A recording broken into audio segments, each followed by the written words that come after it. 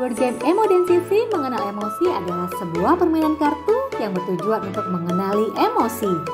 Permainan ini bisa dimainkan dua hingga empat orang pemain.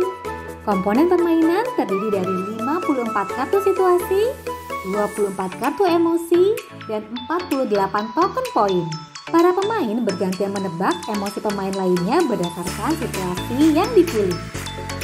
Selamat bermain ya!